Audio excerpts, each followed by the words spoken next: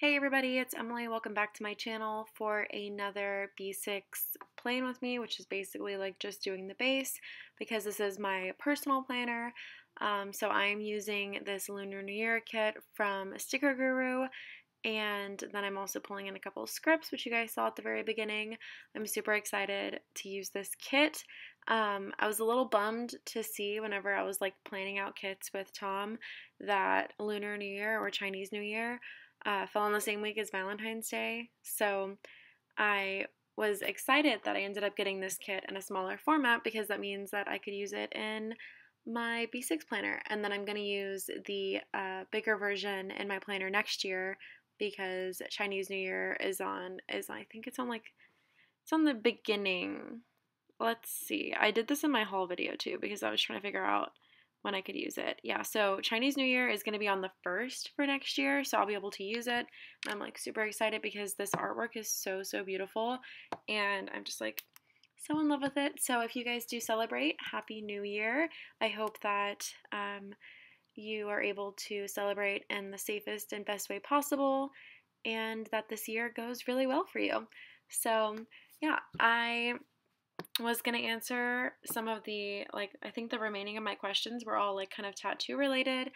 And so I have a couple minutes. I know this video is super short because I did not put, like, any plans in because I kind of jinxed myself last year, or not last year, last week, by putting in, um, like, my pre planning for working at Amazon. And then I didn't get any Amazon shifts this week. So, yeah, not gonna do that again. I'm like a little nervous that I'm gonna jinx myself. So here's to hoping that I can get some shifts this week.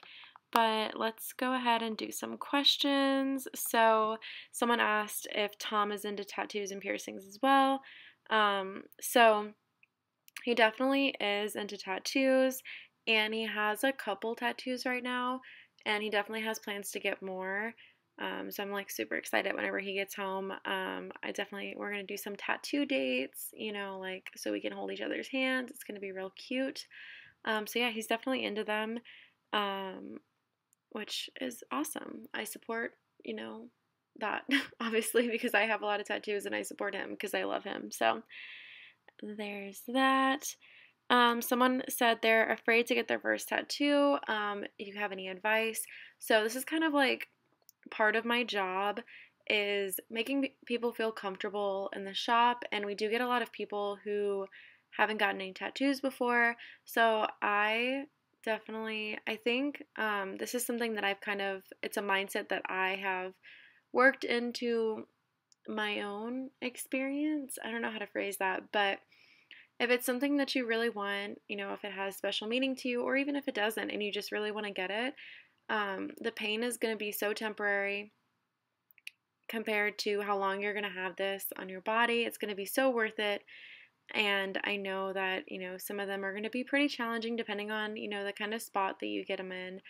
But at the end of the day, you're going to have a beautiful piece of artwork on your body for the rest of your life. That's just going to be amazing and it's going to be so worth it. So I think going into it with that mindset is really good. I'd also suggest, you know, speaking with your artist beforehand, maybe letting them know that this is your first tattoo. Always let your artist like in on what's going on. So if you're feeling really nervous, that way they kind of know like to be aware that you might ask to stop.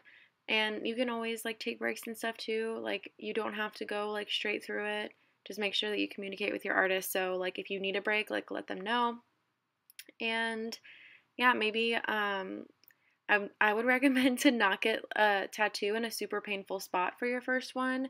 Um, however, like if you, if there's a tattoo that you really want to get and you really want to get it in a certain spot, then like do that. You know, like I said, it's gonna it's gonna be over quicker than you think, and it's gonna be beautiful in the end. So, like my first tattoos that I got were on my wrists, which is a pretty easy spot for me, but also pain is different for everybody. So what's easy for me might be hard for you, and vice versa. So, I don't know. That's kind of the advice that I can give.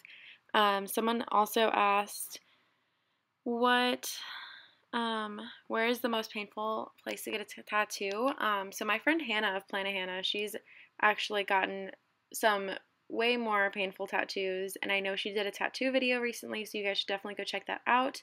Um, I would say that my most painful tattoo that I've gotten was my cover up piece that's on my hip and like a little bit on my stomach.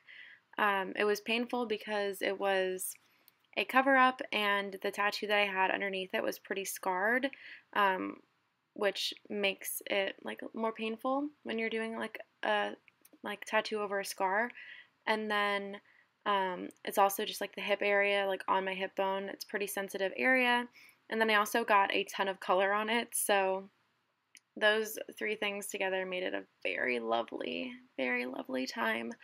Um, but that's the most painful tattoo that I've gotten.